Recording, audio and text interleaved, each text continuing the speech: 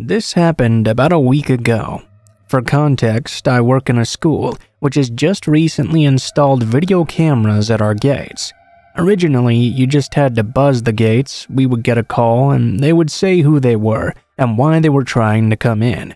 Obviously, you can imagine that people might lie about why they were trying to do so. Because of that, we recently installed the aforementioned cameras so we could look at the gate whenever someone buzzed in. At around 12 p.m., we had a call from a parent who dropped their child off late, saying she had seen one man on a motorbike with no registration plate wearing a ski mask. Someone in a van was following behind without a registration either, wearing a similar mask. They were driving outside the school together. She thought it was suspicious, so she called in to let us know. This didn't worry us too much initially, the school was protected quite well with some very firm security gates. At 1 p.m. or so, about halfway through lunch break, most of the kids had finished up eating. They were playing outside on the field or playground together. From certain sides of the school, you could see the kids playing on the field from the gates outside. The teachers didn't really supervise those kids out there. It was a high school after all, and kids don't really need to be supervised at that age. As I'm doing my own thing, I peek over to the monitor for a moment, only to see said motorcycle drive up to the gates and said van park up on the opposite side of the street. The man on the bike buzzed in and said he was here to pick up his child. I went through with the standard protocol and asked who he was, to which he only replied James. I then asked the name of his child, and he only said Matthew. Two very common names, of course, I asked for his second name and they said Thompson. Yet again, another very generic name. Because I had no life at the time pretty much, I knew the majority of my pupils' names, as I dealt with class lists quite a lot. I had never heard of a Matthew Thompson in this school. I don't even know why I bothered to ask them these questions. It was very clear this person was not a parent. Our security cameras were quite well hidden, so I assume the person asking didn't see them. I asked them to take off the masks they were wearing, which caused them to frantically look around. The man looked back at his friend in the van and made a let's go gesture. They started running and sped off. Pretty stupid of me, I know, but I had no idea how to handle the situation in the moment. I guess I should have gotten a colleague to call the police while they were still there. We did call the police after, but we never heard anything back.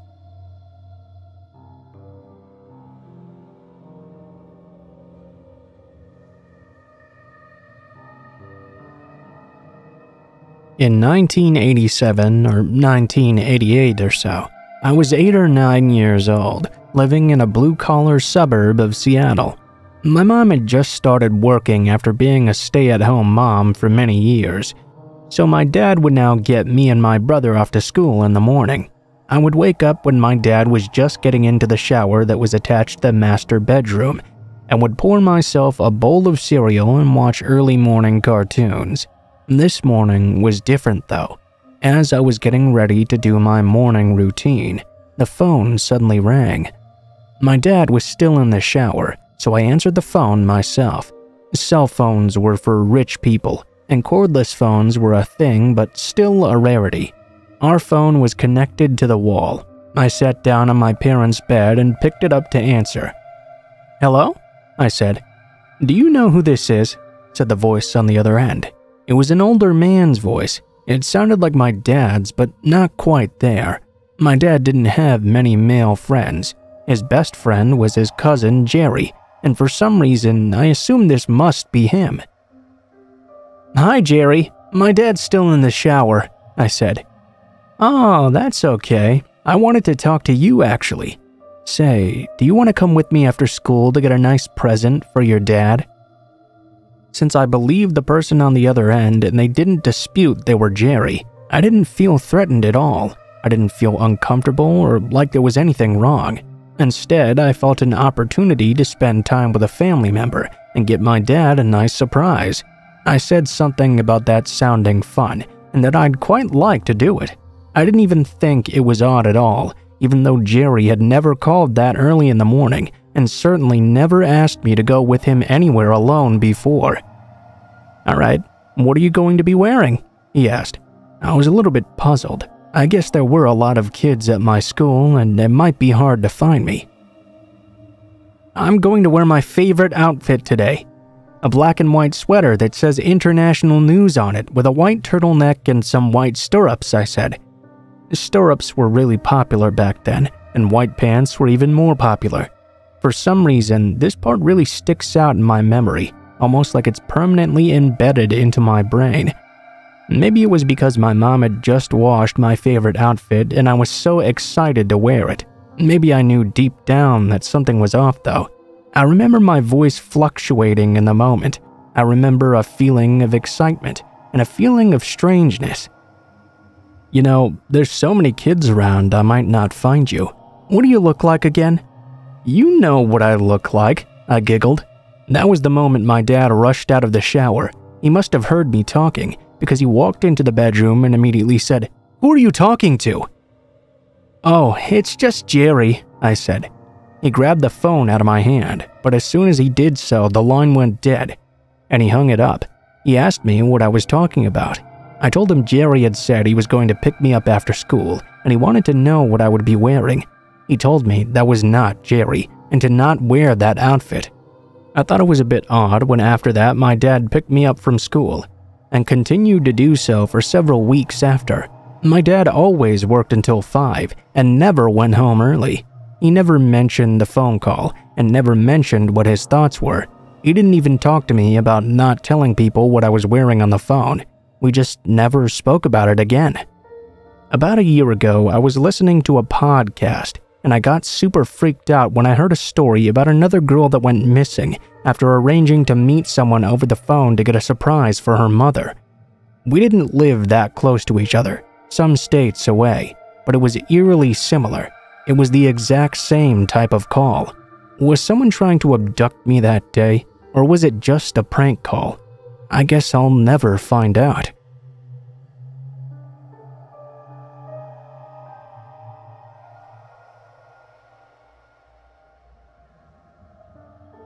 My family used to move around a whole lot. That meant that when I was younger, I was almost always changing schools. It got to be very hard to make friends, not only because of all the moving, but because I always expected to be leaving again very soon. That kept me from wanting to form new attachments. We moved so often it seemed futile. I mostly just kept to myself whenever I entered a new school. Well, of course, anyone who's been to school knows exactly how the loners are treated, especially in middle school. That was where I was in my education when this story takes place. My family had just moved to a semi rural area. I remember this being the worst time in my life, and I still consider it to be that way, honestly. I was in the seventh grade, and I remember this year I turned 13. I had always been a bit of a small kid, and the fact that I was so quiet and a loner just made this whole thing worse on me. The bullying started pretty early, and it got pretty nasty too. In fact, it had gotten so bad I would try to make myself sick in the morning to avoid going to school. I would wear wet socks to bed or put dirty things in my mouth. Back then, we actually thought something like that could make you sick. There was constant name calling. Kids would always try to force me into fights with them. I never wanted to fight, and there was never any reason. I remember once these two bullies held me, while another burst a water balloon on me. Then they went around joking and telling everyone I had a wet dream. It was humiliating just being at that school. The worst part is that the teachers never did anything about it. It happened on the bus, too. A few of the guys who gave me a hard time at school were on the same bus as me and lived in the same general area I did. Fortunately, I lived 45 minutes away and out in the country, so being home was the best thing for me. I would never encounter anyone else who tormented me way out there. Summer vacation, because of this, was my favorite time of year. That particular summer, it was even more welcome than before. I was able to just be home and not have to deal with the constant torment that was visited upon me. One of my favorite things to do was go out exploring into the woods. I would do that maybe a few times a week during the summer. There were a lot of woods in the area, so I was never short of spaces to explore. Sometime in the middle of the summer, I was out exploring in an area I'd never been in before. I'd come across some berry bushes and was surprised to find a good haul of blackberries. I decided I would pick them and bring some home because they were pretty good actually. As I was walking along, I found a dead squirrel. It was obvious the squirrel had been shot and just left there to die. Whoever had shot it was doing it for fun, not for food. I found a bird in a similar condition. It was heartbreaking to see any of this. I wondered why people like to kill animals for fun. As I was out hiking this new area, I began to hear what sounded like footfalls every now and then. I'd never encountered any other people when I was out exploring before. I'd only once in a while come across an animal that wasn't a bird or a squirrel even, but I'd never seen anything dangerous out here. The footfalls I was hearing seemed like they were something bigger. I didn't think there were things like dangerous cats or anything like that around, but I did get a bit concerned when I heard what sounded like someone laughing. Then I knew if I had heard this correctly, there was a person out here in the woods following me. My first thought was I was about to get in trouble for trespassing. I didn't know who owned the land I was exploring on, so I began to get a little bit scared. I decided to go back towards my house, or at least try to find a road to walk along. I went off and kept hearing sounds that indicated someone was in the woods following me.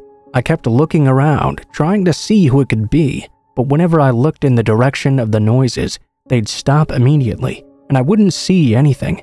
Then I'd hear the laughing begin again. When I turned around to face it the last time, my heart froze in my chest. I was terrified. I was looking at a kid named Billy, one of my worst bullies in school. He was with a bully friend of his, Kyle, and the scariest thing of all was that both of them had rifles. They emerged from behind the trees to face me. I didn't know what to do. I was terrified at the scary looks on their faces. I thought about those dead animals. I was positive it was these two that had killed them. Kids my age shouldn't be out in the woods with rifles. I'm sorry. Being 13 and doing that sort of thing is just wrong. The proof I have of this both of them pointed their rifles at me right away. Billy taunted me, calling me horrible names and racial slurs. Then they said I was dead. I turned around to run. As soon as I did, I heard a gunshot ring out. I didn't feel anything, so I know I didn't get shot myself, but needless to say, I was terrified. I fell down to the ground. Kyle and Billy ran up to me and pointed their rifles at me. They called me names and made fun of me because I was scared. I didn't want to move. I just laid there on the ground, hearing their insults and being terrified. It was the worst feeling I'd ever had in my life.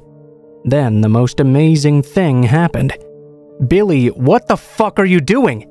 I heard a man's voice call out. Oh, uh, hey, Dad. We were just playing around, weren't we? He asked me. He had a look in his eye that said he would shoot me if I didn't agree. They were hunting me, I told Billy's dad. A huge man came up and grabbed the rifle out of Billy's hand and put it on the ground. He said four words I'll never forget Cut me a switch. Billy looked terrified. He took out his pocket knife and cut a switch from a bush or something. He handed it to his dad, and his dad began to beat him with the switch in front of all of us. Billy was reduced to tears, and I could tell Kyle was scared he would be next, too. Lucky for him, Billy's dad deigned not to punish him. Help him up, the dad demanded, and Billy did as he was told. You apologize right now. Billy apologized, and the dad asked me if I was alright. I told him I was fine. He grabbed the rifle in one hand and Billy with the other, and he dragged the two of them off. I think Billy was going to be a lot worse for wear when he got home with his dad. Although my story does have a fortunate ending, it was a terrifying experience. Bullies are scary to begin with, but bullies willing to kill are much worse. Billy didn't bother me again after that. He just gave me horrible looks in school, but he never talked to me from then on.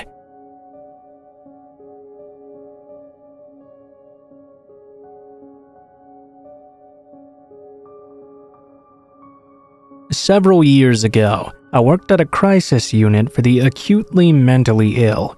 It was a 10 bed unit where individuals would come to stay as a step down from psychiatric hospitalization or a diversion to prevent psychiatric hospitalization in the first place. I often worked alone on the weekends. One Friday evening, we received an admission Michael.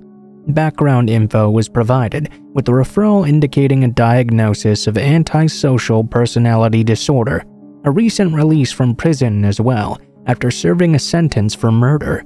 I completed the initial intake meeting with Michael, during which time he said some sexually explicit things to me. I made it clear this was inappropriate and that confidentiality was limited in that the staff working on the unit as part of his treatment team would be privy to anything he said or anything said in subsequent one on one sessions. He responded well to that redirection. We finished the intake and I went about the rest of my shift until about 11 p.m. that night. He approached me in the office and asked if I was working alone. Luckily, at that time, I was not alone. I told him my male coworker was just in the adjoining office. After this encounter, I explained the situation to my coworker, who read my shift summary and decided to sit down with Michael and tell him the way he was acting was not acceptable. He could risk being let go from the program if it continued. The next morning, I was working alone from 8 a.m. to 4 p.m. Around 9, I went to wake up another client, Jeremy, to administer his medications. The room Jeremy was assigned to was at the end of the hallway, and he was usually quite slow to get up in the mornings. While I was knocking on Jeremy's door, Michael approached me to tell me he didn't appreciate I'd shared the things he'd said to me with my coworker. I explained to him that I'd already told him anything he said to me would be shared with the rest of the treatment team, regardless of how I felt about it. Michael became more agitated and jumped up in my face, backing me into the corner in front of Jeremy's bedroom door. At this point, Jeremy had woken up and heard what was happening outside his room. He came out of his room and stood between Michael and myself and told Michael he needed to get the fuck out of there. Michael went back to his room, and I contacted my supervisor, who told me to document the encounter and continue with my shift. Needless to say, I left the job shortly after this incident. I'm thankful that Jeremy had the presence of mind to intervene on my behalf. Considering he was also a client with mental illness, I often wonder what would have happened if Jeremy hadn't woken up in that moment, or if he would have been in a severe state of mental delusion and would have become agitated as well.